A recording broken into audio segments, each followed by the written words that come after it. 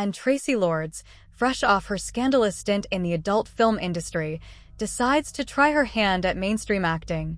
Now, this wasn't just any role, no. Traci had her sights set on the big leagues, and she wasn't about to let anything stand in her way. Enter Not of This Earth, a low budget sci fi romp that's equal parts cheesy and charming.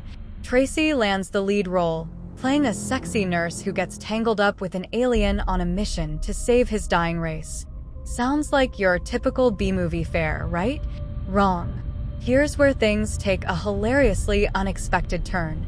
You see, Traci, being the savvy businesswoman that she is, decides to have a little fun with her newfound mainstream fame. So, she shows up to set dressed to the nines in a skin tight nurse's uniform, complete with stiletto heels and a wink that could melt even the coldest of hearts. But here's the kicker Traci wasn't content to just play the damsel in distress. Oh no, she wanted to steal the show. And steal it she did, with a performance that was equal parts sultry and sassy, with a dash of that signature Traci Lords charm thrown in for good measure. As the cameras rolled and the director called action, Traci strutted her stuff like a pro, delivering lines with a wink and a smile that had the crew eating out of the palm of her hand. And when it came time for her big scene with the alien, let's just say things got interesting. Traci leaned in close to her otherworldly co star, delivering lines with a playful banter that had audiences howling with laughter. And as the credits rolled and the applause died down, Traci knew she had cemented her status as a bona fide scream queen, alien encounters and all.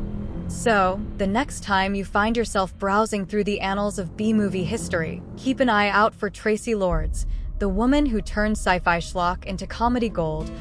It's May 7, 1968, and a future icon is born in Steubenville, Ohio. That's right, folks. Traci Lords came into this world with a bang, and she hasn't slowed down since. From her humble beginnings in the heartland to her scandalous stint in the adult film industry, Traci's journey to stardom reads like something straight out of a Hollywood script. But it wasn't until she burst onto the mainstream scene that Traci truly made her mark. If you like this video, give us a thumbs up and join the crew by subbing and clicking the bell. Now, let's talk about her filmography, shall we? Because trust me, folks, it's a wild ride. 1. Not of This Earth, 1988. In this sci fi romp, Traci plays a sexy nurse who gets entangled with an alien on a mission to save his dying race. Spoiler alert, things get weird, but in the best way possible. 2. Shock 'Em Dead, 1991. When a wannabe rock star sells his soul to the devil for fame and fortune, chaos ensues. Traci plays the devilishly seductive girlfriend who may just have a few tricks up her sleeve. 3. The Atomic Tommyknockers, 1993. Based on the Stephen King novel, this made for TV movie sees Traci facing off against extraterrestrial forces in a small town. Because who better to battle aliens than the one and only Traci Lords? 4. Skinner, 1993.